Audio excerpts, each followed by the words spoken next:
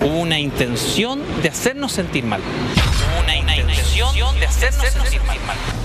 Impacto. César Campos y su pareja Diego Barrios sufren trato discriminatorio al momento de inscribir su lista de novios. La sociedad ya no da para más con esto. La sociedad ya no da para, para más con esto. Insólito, asesor de casa comercial les arruina importante proceso para su matrimonio. Es humillante porque fue gratuito.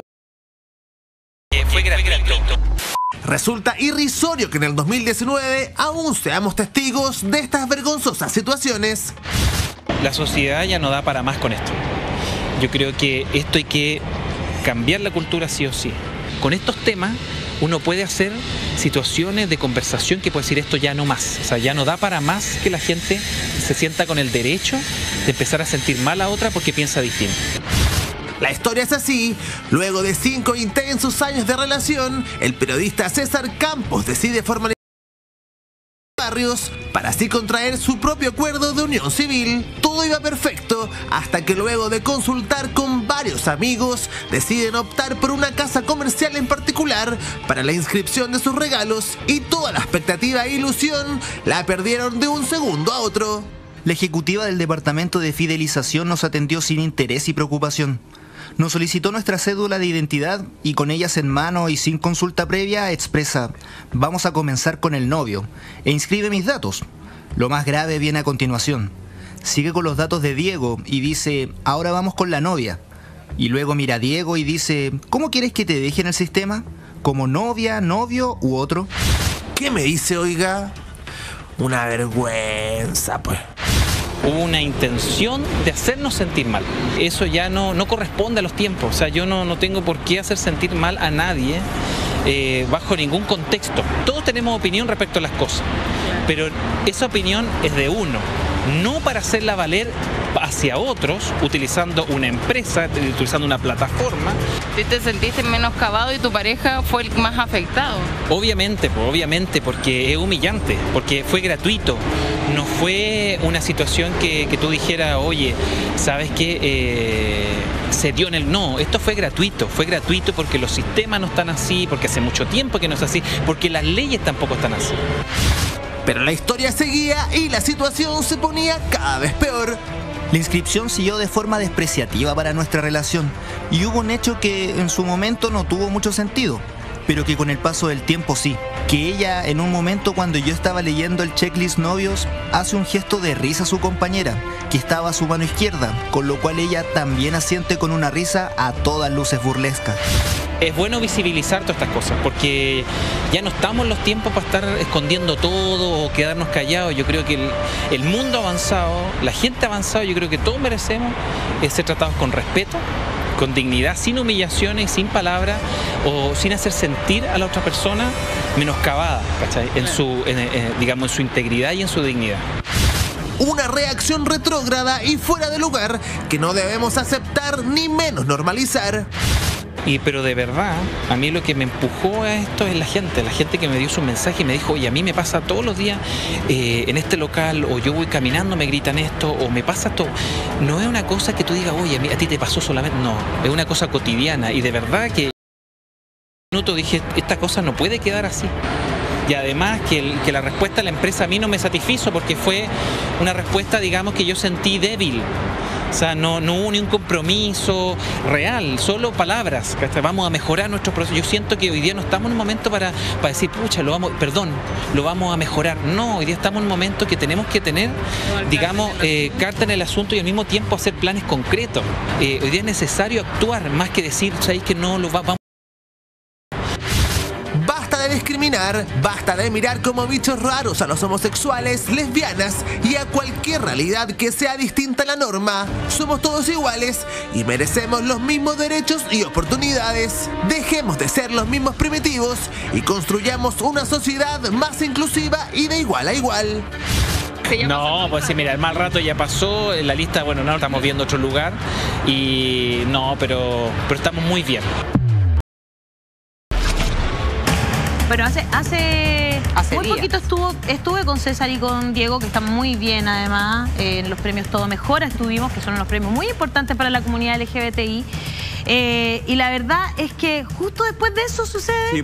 eh, esto, ¿ah? les pasa. eh, yo creo que quizás hay personas que no están preparadas para este nuevo Chile. O sea, si tenemos acuerdo de unión civil, la idea es que justamente se puedan hacer este tipo de cosas. Al menos a mí me ha tocado ir a un montón de Cuando, cuando conocimos esta noticia, porque César la hace pública a través de sus redes sociales, Hace nosotros, rato no- ya. nosotros comentábamos el, el fin de semana, fue como el domingo, y creo que lo comentábamos acá y nosotros decíamos, chuta, qué rabia, porque efectivamente acá, a ver, yo dejo a la empresa de lado, ma- más allá, desconozco la respuesta que le hayan dado después a Son los César. funcionarios. Sí sé que a través de redes sociales le dijeron nos vamos a poner en contacto contigo, pero son esos funcionarios que efectivamente pareciera ser, y no son todos, por favor, pero hay algunos que eh, pareciera ser informe de lo que sea, se sienten superiores al mundo. que si la tú ves a dos hombres al frente, ¿cómo se te puede llegar a ocurrir el preguntarle, ya, te inscribo como novia? No, ¿O quién es la novia? un novio y existe otro novio. Es así de lógico. Y, y- y además ese tema de estar como,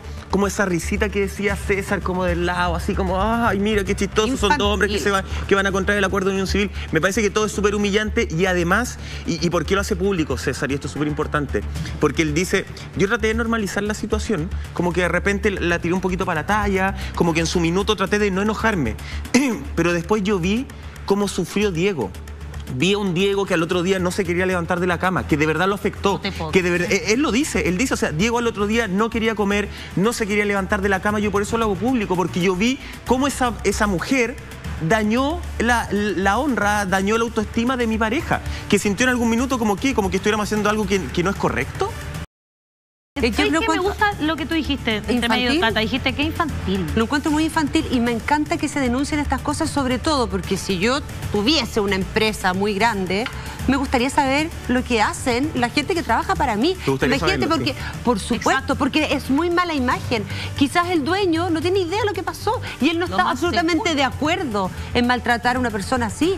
Entonces, por supuesto que hay que hacerlo público. Y esa persona, por favor, que no siga trabajando atendiendo público porque no tiene ningún tipo de inteligencia emocional. Mm. O sea, además, que por favor, qué estupidez. Digo, ay, se gustan. No, ¿qué es eso? O sea, de, de primero básico, de, kinder. sí, francamente, entonces. Y te no- digo la verdad, ni siquiera, porque los niños no tienen ese Por tipo eso de te digo, no como- vienen con esa tecla. Qué Sí, estupidez. y es terrible lo que cuenta César, porque el testimonio, bueno, hay personas que son ignorantes y por eso eh, no entienden y preguntan de más a veces o incomodan al resto por- de ignorancia. Y eso está mal. Pero cuando lo hacen con pésima intención, a César, o sea que había una intención de hacer daño, que había una intención de hacer sufrir, de incomodar. Eso lo encuentro terrible. O sea, eso es discriminación de frente. Claro. Eh, y eso no puede seguir existiendo. O sea, hace muy poco conmemoramos la partida de, de, Daniel Zamudio, de. Daniel. Zamudio. Y, y estamos a siete años y finalmente hemos avanzado tan poco, porque en el fondo hay señales en las comunicaciones, se entiende quizás algunos conceptos de, mayor, de mejor manera, pero en la práctica siguen existiendo ataques eh, homofóbicos, transfóbicos, personas discriminando en multitiendas, en lugares, entonces eso, eso no puede ser, no puede ser. Y es que ahí, ahí tú da, da con un punto en la Natalie, porque claro, de aquí es una persona que es jujuju, se ríe nomás. Nomás, comillas, Claro. por supuesto, ¿no? Es súper Pero grave. de verdad que a mí me parece súper, sí, horrible, porque Es ella está atendiendo público. Pero Yo- después yo- de eso llega, que hace muy poquito, hace nada, hubo un ataque lesbofóbico a una mujer que quedó en la clínica du- durante no sé cuánto tiempo en coma. Después un chico Eh, ¿No es cierto? Hace poquito a otro hombre por tener las uñas pintadas le pintaron suásticas en su cara. Yo creo Entonces, ¿de que qué estamos hablando? Yo creo que en el caso... Los casos que se han hecho públicos. Claro, yo creo que en el caso de, de quien atiende a clientes, y creo que eh, eso debiera como estandarizarse un poco a nivel sociedad, debiera haber una inducción, porque yo sé que hay inducción para ese trabajo, no es como que cualquiera va, se sienta y atiende al cliente, pareciera así, pero también hay inducción. Y me parece a mí que la deuda en general de la estructura, eh, no solo del retail particular, sino que en general, es que la gente que atiende a clientes no está teniendo una inducción de esta temática. Porque hoy en día la temática queda en lo que te dice tu compañero, en la broma con el otro, en lo que te parece de llamativo, o el de la tele, o viene con su pololo, ojo, y es una estupidez. po. Y finalmente lo que hace eso es justamente que quien se sienta afectado diga, oye, pucha, me siento eh, eh, recluido por esto, me siento alejado por esta, por esta empresa, por lo que sea. Y en el fondo es porque una persona no tuvo la, el, el conocimiento. Yo, yo creo que es, es clave eso. pierden uno- un cliente, Cuando además, porque además de perder un cliente, pero yo creo que cuando, cuando uno desconoce algo, es lógico que cometa errores cuando uno no sabe. El tema es cuando tú estás en una labor que debieras saber, porque estás vendiendo a otra persona y no sabes quién va a venir a, a, a- a preguntarte a ti, a pedirte una ayuda. Yo creo que ese es un error que es un poco más, más grande y profundo. Claro, ahí, ahí yo creo que tú das con un punto. Y hay muchas, ojo, ¿ah? hay muchas, por ejemplo, la Fundación Iguales hace inducciones justamente a las personas que están en las empresas para aprender justamente los temas de género, porque la educación hace que la gente no le tenga miedo y no se provoque esto de, ¿no? Claro. Que, que se haga una, un- que se normalice, digamos. Sí, mira, yo en este caso, en esta pareja, yo no te juro, no sé, le estoy hablando acá, el ángel malo me habla y el ángel bueno también, y no sé con cuál ponerme de acuerdo. Lo Estoy- mismo al malo, Estoy un un poco, ratito. no, al malo no. ¿No? Ya. Estoy un poco complicada. ¿Por qué? Mm. Porque César Campos es un hombre que siempre ha sido un hombre muy tranquilo, muy bajo perfil.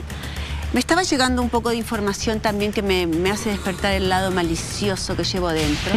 Entonces, eh, ¿qué pasa? Claro, César en algún minuto no reconocía a esta pareja, ¿cierto? Sí. So- eh, públicamente. Eso De fue nuestro programa que los pillamos una vez peleando por eso. ¿te acuerdas? Exacto, Y exacto. que Diego habla a la cámara y eso fue material Exacto. que guardamos nosotros. Sí, que- claro, pero por eso mismo te digo, porque acá con lo que yo escucho de la parte que nos habla César, que dice que en el, en, en el momento quiso bajarle el perfil, llevarlo un poco para la talla, pero que después, al otro día, su pareja, que es un poco acontecida por lo que puedo eh, percibir en, Bueno, en la- pero- en las notas y todo, una sensibilidad más, más a flor más de piel, quizás, eh, hace Quizás siempre que. César reaccione, que César en el fondo, en aquel minuto cuando peleó en la cámara y lo, y lo fue una confrontación que, que hubo ahí como para exigirle que lo reconozca públicamente. todo con- un- a mí me parece que no, no me quiero ir para ese Estoy momento, pero en el fondo es presionar de esa manera a alguien me parece que tampoco está bueno, no corresponde, lo dije en aquel minuto. Y acá nuevamente me da la, la impresión de que, de que son esas relaciones donde alguien, porque se sienta eh, en el fondo afectado, lleva a la persona pública a este tipo de cosas. Y por eso digo que no sé si estoy, eh, mm, estoy con, con un conflicto, porque tampoco me gusta ver eso. ¿No confías en las buenas intenciones de él? no, no, no. Seguramente son, unas- son buenas intenciones, pero es cuando empiezo a hacer el análisis como psicóloga que es, que que soy. Porque Que cuando congeló en actuación, Sí. cambió a psicología. Después Y psiquiatría duré, duré simplemente tres días porque lo encontré un poco denso eh, y me, auto, me empecé a autoanalizar y ya como que dije, no, acá hay un conflicto muy, muy... ¿No te hacen un test para poder entrar a estudiar psicología? Claro, pero por eso digo, acá lo que yo veo es que también la pareja de César generalmente lleva a César a...